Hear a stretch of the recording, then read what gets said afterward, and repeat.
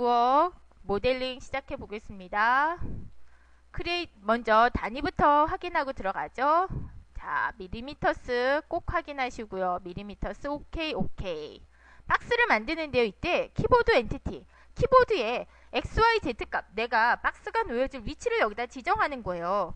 그래서 X는 3000의 위치에 Y는 2000의 위치에 Z는 0 length에 4000 위드스에 6000 높이로 2500 create 해주면 그 자리에 이렇게 생성이 됩니다. 제가 그리드는 영문이 선택된 상태에서 G 눌러주면 그리드 사라지고요. 자, 박스 object 마우스 오른쪽 버튼 convert to convert to editable poly polygon을 Control A 전체 선택 잡고 flip 뒤집기 했습니다. 자, 위에 polygon 선택 잡으시고 detach 오케이. 자, 아래 옆 아래 polygon 선택 잡으시고 detach 오케이. 자, 왼쪽도 detach 오케이. 오른쪽도 detach 오케이. 자, top에서 앞부분 detach 오케이. 뒷부분 detach 오케이 했습니다. sub select 푸시고 박스는 지금 아무것도 없으니까 지웠어요. 왼쪽 벽이 남겨져 있는 상태에서 Alt Q 되어 있는 상태고요. 자, F4 눌러서 edge가 보이도록 하고 edge 위아래 edge를 선택해서요. connect 옆에 세팅 버튼으로 6개 오케이. 세로 줄들을 세로 줄들을 선택 잡으시고 connect 옆에 세팅 버튼으로 2개 오케이. sub select vertex에 가셔서 아래 줄의 vertex를 move tool 마우스 오른쪽 버튼 Z 좌표 950 자, 그 위에 vertex들 select 잡으시고 Z 좌표 2300 자, 이제 top view에서요. top view에서 위치를 잡습니다. 자, 여기 두 번째 것부터 해요. Y 좌표가 3000 그 밑에 버텍스들 윈도우로 전체 버텍스들이 줄로 쫙 선택이 돼야 되는 거예요. 2600 그리고 그 밑에가 2000 여기 이, 이 좌표값은 여러분들이 캐드로 전개도를 그려주시게 되면 전개도에 있는 그 좌표값을 그대로 써주시면 되겠죠. 1600 그리고 여기는 1000 그리고 여기가 50 Y좌표들을 이렇게 옮겨줬습니다. 자, 이렇게 버텍스트를 잡아줬고요. 이제 perspective view에서 문의 위치가 높이가 달라요. 그래서 있지로 자, 요 경계 edge와 Control 키를 눌러서 다중 선택으로 요 경계 edge를 connect 옆에 세팅 버튼으로 한 개를 오케이. 선이 연결됐습니다. 얘의 Z 좌표는 2000의 높이, 문 높이. 자, 이제 sub select polygon 가셔서요. 문이 뚫려질 부분, 창이 뚫려질 부분을 갖다가 extrude 하십니다. 자, 저 뒤로 나가는 거니까 마이너스 300 오케이. 그리고 면은 지워졌습니다. sub select 푸시고 exit isolate mode 뒤에 벽 선택해서 Alt Q 얘만 남긴 상태에서 한번 작업해 볼까요? 자, 위아래로 선 connect 버튼으로 두 개. 이쪽 옆으로 connect 버튼으로 하나. 자, 이제 전체 모양에서 한번 vertex로 한번 위치 잡습니다.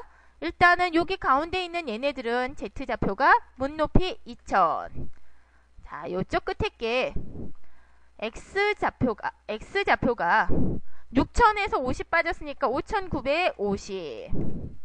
자, 요쪽이 X좌표가 4950. 문의 width가 1000이 된 겁니다. sub select를 polygon 가셔서 요 문이죠, 문. 얘를 extrude 합니다. 뒤로. 마이너스 300 오케이 그리고 문이 들어갈 부분은 delete 눌러서 지웠어요 exit isolate에서 왼쪽 벽과 뒷벽을 작업을 했고요 자 이제 위에 천정을 한번 작업해 볼까요 Alt Q 천정 object만 이렇게 본 상태에서 작업을 하겠습니다 이때 천정 부분은 top view에서 작업하기보다는 bottom view에서 아래에서 위로 올려다보는 view에서 작업하는 게 편하겠죠 그래서 top view를 V 눌러주시고 B 눌러주시면 bottom으로 이렇게 바뀝니다. bottom view에서 자 object 선택된 상태에서 edge로 위아래 edge를 connect 옆에 세팅 버튼 한 개 오케이 이제 이렇게 선택된 얘도 커넥트 오케이. 자, 버텍스의 위치 한번 옮겨볼까요? 아, 얘는 Y좌표가 아래로 내려와줘야 되니까 아니 얘가 아니라 이거였나요? 얘가 Y좌 X좌표가 100 그리고 가운데 있는 건 Y좌표가 몇인가요? 3600 정도 됐나요? 어, 오케이. 좋습니다. 이제 polygon으로 요 polygon을 아래로 내릴 겁니다. Extrude 옆에 세팅 버튼 누르셔서 마, 마이너스가 아니라 얘는 양수값으로 내려오겠죠? 안으로 내려지니까. 오케이. 자, 이제 sub select edge로요. 아래에 있는 이렇게 이치를 추출합니다. Create Shape from Selection path라고 저장하겠습니다. Linear 형태로 추출해야지 둥그렇게 안 만들어져요. 오케이. sub select 푸시고 얘만 남겨보죠. 아, 마우스 오른쪽 버튼 Unhide by Name path만 남겨져서 Alt path object를 Alt Q 자 얘만 남겨져 있는 상태예요. front view를 이렇게 크게 확대를 한 상태에서요. 여기에다가 이 path를 따라가는 shape을 만들 겁니다. Create Shape의 Rectangle로 사각형의 크기는 적당하게 length는 30에 30 정도 되는 걸로 작업을 해볼게요. 자, 얘가 이렇게 준비가 됐고요. 마우스 오른쪽 버튼 Convert To, Convert To Editable Spline. Spline 상태에서 sub select segment로 얘를 divide 좀 나눠 보겠습니다. divide 4개를 나눕니다. Divide 버튼 눌러주시면 vertex가 4개가 생성되죠. 이때 버텍스들은 마우스 오른쪽 버튼 코너 형질을 갖도록 해주고요. 자, 모양을 한번 잡아볼까요? 얘를 이렇게 자, 얘네들을 같이 움직여 주려면 두 개를 같이 선택해서 이렇게 같이 움직여 주시면 이제는 요거 한 개만 선택해서 이렇게 해서 수평을 맞춰 주시는 거죠. 아, 모양이 이렇게를 아니지?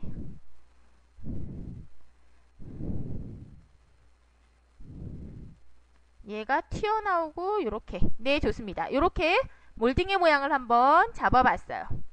자 이제 sub select 푸시고 자 이때 버, 중요합니다. vertex를 요 지점이 Make First 첫 지점이다 라고 얘를 콕 찍어서 까, 상자 모양이 얘로 콕 찍혀 돌아와야 돼요. 그래야 얘가 path 고 지점으로 살짝 달라붙습니다. 자 우리 아까 path reverse 안 시켰죠. 자 path 선택해서 spline으로 이 spline을 뒤집기 왜냐면 얘가 밖에서부터 뒤집어 왔기 때문에 내가 그대로 그 형상을 하기 위해서는 reverse 뒤집기가 형성이 돼야 됩니다. sub select 푸시고 자 이제 한번 해볼까요? spline 선택되어 있는 상태에서 즉 path죠. Create, Geometry, Compound Object, Loft Object, Get Shape 모양을 가져가는데 얘를 가져갑니다. 그러면서 Skin Parameters의 shape의 단계는 0. 즉 버텍스와 버텍스 사이만 만들겠다. 패스의 단계도 0. path도 중간에 더 많은 segment를 생성시키지 않겠다라고 해줍니다. 자 이름 줘볼게요. 몰딩 좋습니다. 이제 Exit Isolate Mode 했더니 이렇게 몰딩이 잘 생성이 됐습니다. 자 이제 왼쪽 벽체에서 걸레받이 추출하는 거 한번 해볼게요. 자 왼쪽 벽체입니다. 자 왼쪽 벽체 object만 선택해서 Alt Q 얘를 이렇게 돌려지고요. 자 보시죠. sub select edge로 자 edge를 세로 edge들을 선택한 상태에서 connect를 했습니다. 얘의 Z좌표의 높이는 80까지만 올려볼까요? 이제 sub select를 polygon으로. 자 보시죠. 요면 요면 요면. 걸레바지로 사용할 요면을 선택 잡으신 다음에 Extrude 옆에 세팅 버튼 누르시는데 Local Normal로 앞으로 튀어나온 거니까 양수값 10 오케이. 이제는 이렇게 하게 되면 여기 있는 면들이 선택이 잡히죠? 얘를 detach로 분리합니다. Detach 버튼 누르시고 걸레받이